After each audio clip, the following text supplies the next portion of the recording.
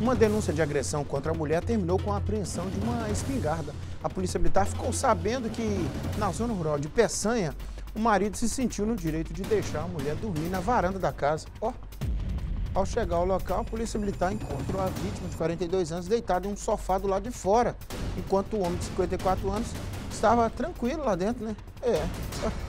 Ela disse aos militares que os dois ingeriram bebida alcoólica. Ah, tá explicado. E o suspeito a agrediu verbalmente. Com medo, ela ligou para a polícia e o homem pegou o celular e bateu na boca dela, dizendo que estaria preparado quando a polícia chegasse. Gente, que notícia é essa? A arma de fogo foi apreendida e o casal encaminhado para a delegacia de polícia civil em Goiás. É. Onde eles vão resolver essa confusão toda lá, né? Meu